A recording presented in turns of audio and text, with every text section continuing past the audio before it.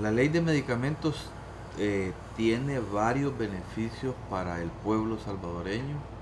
Eh, después de una larga lucha de varios años logramos aprobarla. En primer lugar, el beneficio eh, significará una disminución clara en los precios de este producto básico, ya que se pone como parámetro un referente internacional que disminuirá dramáticamente. Prácticamente nos eh, estamos poniendo en el referente de precios equivalente a la Organización Mundial de la Salud. Eh, en este momento en El Salvador eh, hay precios que oscilan entre el 2.500 al 3.000%. O sea, son precios altísimos, son los más altos de la región. Esa es la primera contribución.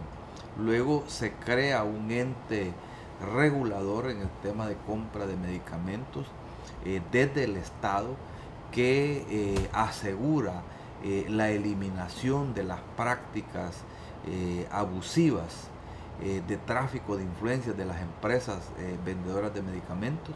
Eso por supuesto también impactará en los precios.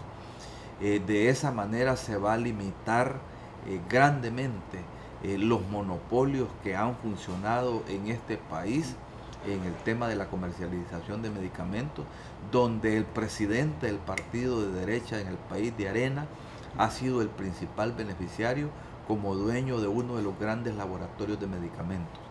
Entonces, ese es el beneficio más importante. Se permitirá también el uso de, medicamentos genéricos en el Estado, lo cual asegurará mayor acceso en los hospitales públicos, en el Instituto del Seguro Social, de medicamentos para toda la población. Por otra parte, ¿por qué duró tanto tiempo esta reforma? Se habla de 10 años. Sí, efectivamente, esto tiene que ver con los grandes intereses que han estado de por medio. Nosotros tenemos los medicamentos más caros de la región y en algunos casos del mundo. Y los, los dueños de los, estas empresas han tenido una gran influencia en el partido eh, de la derecha que gobernó antes, ahora por primera vez que el FMLN llega al gobierno y que tiene una correlación mejor de fuerzas, es que se ha posibilitado eh, la concreción de este resultado. O sea, es arena, la influencia en arena de los grandes comerciantes de los medicamentos, los que ha bloqueado, hasta ahora había bloqueado su aprobación. Se habla del segundo país con los precios más altos después de Costa Rica. Eh, esto ya significa un avance no solamente en la democratización del país, sino también en que otro tipo de monopolios eh, que existen todavía se estén observados. Por supuesto, este es el inicio de un proceso de cambios. Nosotros hemos dicho los cambios en el país solamente han iniciado. Este es el proceso de arranque de transformaciones que el país necesita, pero necesitamos profundizar los cambios, ampliar los cambios, asegurar mayores beneficios al pueblo salvadoreño y seguramente habrá que enfrentarse a otros monopolios que están haciéndole daño al pueblo salvadoreño. Ahora, con esta nueva ley eh, para la población, ¿cómo lo va a vivir prácticamente en el día a día, en los hospitales, en, eh, cuando se va a atender, cuando tiene necesidad de poderse medicar?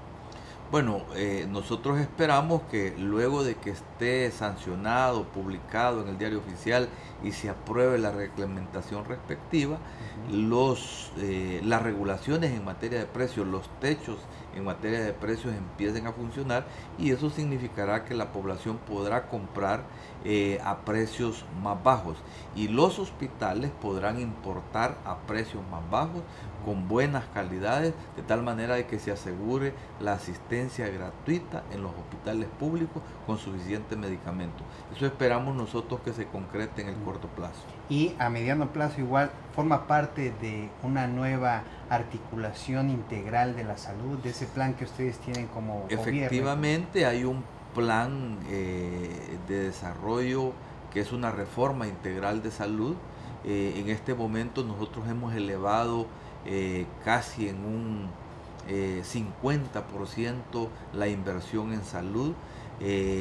particularmente en medicamentos, se ha creado un sistema de atención integral en la que también se han organizado en 145 municipios del país hoy por hoy los equipos comunitarios de salud que, que atienden la salud primaria de la población y eso por supuesto ha elevado los niveles de consulta y los niveles de demanda de los hospitales. Esto formará parte de ese esfuerzo que nosotros creemos que le va a llevar eh, mucha salud al pueblo salvadoreño. Efectivamente, nosotros habíamos consignado eh, de nuevo en la plataforma legislativa eh, de, los próximos tres años la necesidad de aprobar esta ley, pero esta ley la sacamos de la plataforma porque se aprueba eh, ya en esta legislatura. Lo mismo nos ha pasado con la ley de notificaciones, que se aprobó hace muy poco y esa también va a beneficiar a varios cientos de miles de personas.